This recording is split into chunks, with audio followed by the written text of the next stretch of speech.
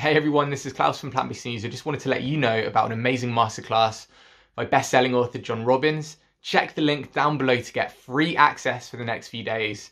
Um, I'm not trying to hustle you for anything, it's completely free. If you know anybody interested in getting healthier, this is like the perfect plant-based nutrition masterclass for them. So check it out in the link below and I hope you enjoy this video. Health is your greatest wealth. One of the biggest misconceptions that I hear all the time when people hear about what I do is they think that health is somehow preset, that their genetics determine their destiny, and that as they get older, their body's going to break down inevitably. If cancer or heart disease or Alzheimer's or obesity run in the family, there's not much anyone can do about it. And we found that that is absolutely not true. The truth is that your body was meant to thrive.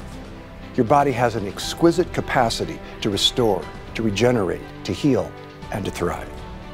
The latest science is saying that with neurogenesis and epigenetics, you can grow in strength, in mental clarity, and in vitality with every year that goes by. You can actually create new brain cells and stronger bones and muscles and do things that are absolutely extraordinary. We just weren't taught how. We were taught that we aren't good enough and can't do it.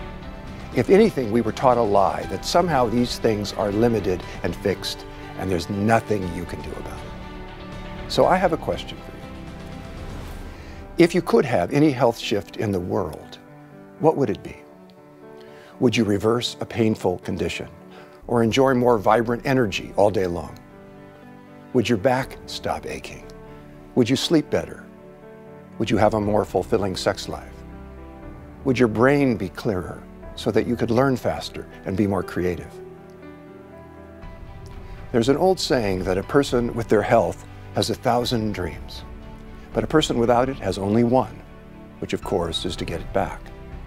So I want you to imagine for a moment what your health is worth to you and what it means to everything that's important in your life.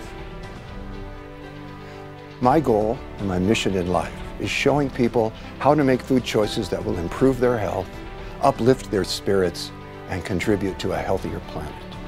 And I want to end the trance that it's not possible. End the trance that says you're not good enough. End the trance that says you can't do it. And really show you the truth, which is that you can.